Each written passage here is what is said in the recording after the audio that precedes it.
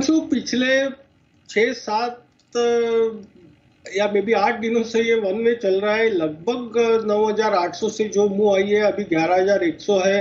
तो trade setup बनाना बहुत मुश्किल है।